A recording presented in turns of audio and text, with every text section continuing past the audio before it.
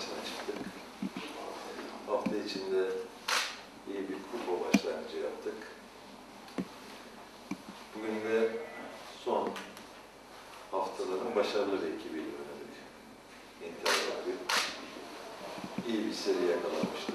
Ama bütün bunlar bizim için çok fazla önemli değil. Biz buraya sadece kazanmayı düşünerek geldik. Kazanmak için oynadık. Maç berabere bitti.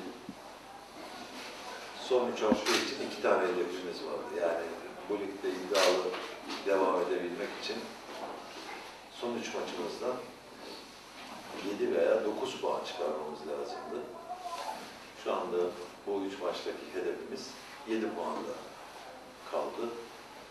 Bunu da tamamlamak için son iki maçımızı kazanmamız gerekiyor. Kazanmamız gerekiyor ki düşündüğümüz ligde ilk üç arasına girelim. Bir hayli geri kaldık lig mücadelesinde. Bunu telafi edeceğiz. İçeride, dışarıda telafi etmenin yollarını arayacağız. Bugünkü oyundan memnunum. Yani zor bir takıma karşı oynadık. Kazanabilir miydik? Kazanabilirdik. Pozisyonlarımız var. Gol atabilirdik. Rakibe çok fazla şans vermedik.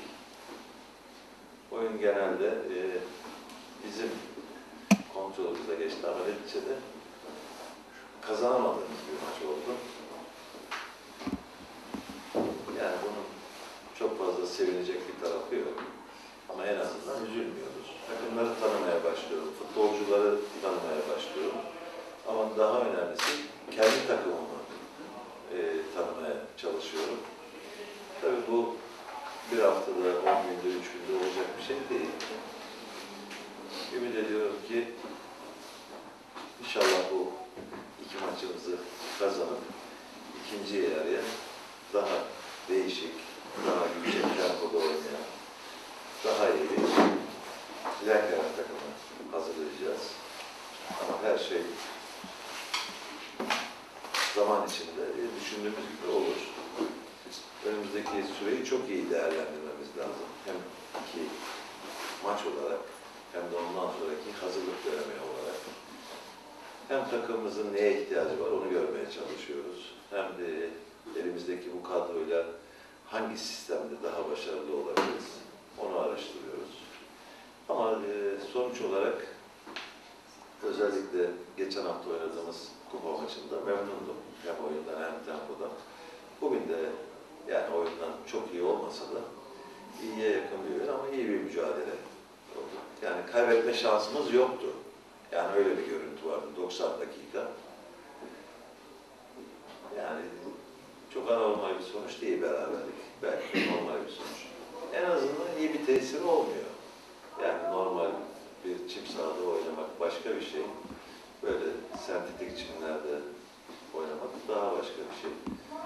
Biz kendi sahamızda oynadığımız maçlarda normal çimde oynuyoruz. Tabii buraya çok sık geliyoruz. Kaç tane maçımız e, böyle sahada olacak bilemiyoruz. Bu sahalarda olduğu zaman yani hem antrenman şeklimizi değiştiriyoruz. Yani hem sahaya, zemine adapte olmaya çalışıyoruz. Bu bizim için kolay değil. Kolay değil. Onun için e, mümkün mertebe böyle sahaları olan takımların e, maçlarına daha erken gidiyoruz. Yani, Biraz dört takım var. onun için e, bu dört takımla oynayan bu maçlara en azından üç gün evvel gelip bu sahalarda antrenman yapma imkanı e, arıyoruz. Yani bu e, futbol adına e, şartların getirdiği bir durum normalde. Bütün teknik adamlar, bütün futbolcular normal zeminde futbol oynamak isterler. Ama e, bazen şartlar böyle oluyor. Doktorla konuşmadım. Daha muhtemelen bileğinde bir zorlanma var. Bilek bağlarında. Bu ancak MR çekildikten sonra orada kendisiyle e, konuştuk. Nasıl hissediyorsun? Çok değişen bir şey yok dedi. Biraz ağrım var. Ama yani şu anda bunun için bir şey söylemek erken. Bunlar muhtemelen bu tür sakatlıklar hem e, rakiple olan Bunların bazıları da zeminden olur. Yani zeminle e, uyum sağlayamayan bu koşullara dönmeler zaman zaman bu tür sakatlıklara sebep olabilir. Ben e, çalıştığım ülkelerde e, hakemlerle ilgili e, olumsuz yorum yapmadım hiç. Hep olumlu yorum yapmaya çalıştım.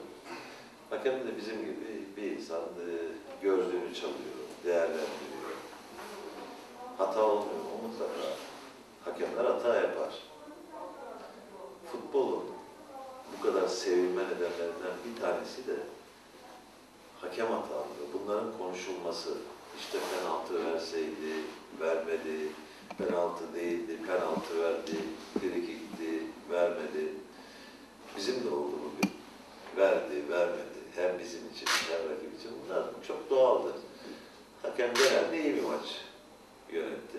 Yani çok fazla belki e, bir tek e, sarı kart pit için biraz yani ekstra oldu orada sarı kartlık vardı ama öyle değerlendir bir şey diyemeyiz yani hakemlerimiz de e, bu ligi oynayacağız. Her maçımızda onlar görev yapacak. Hata da yapsalar çok doğru da yapsalar bizim hakemlerimiz.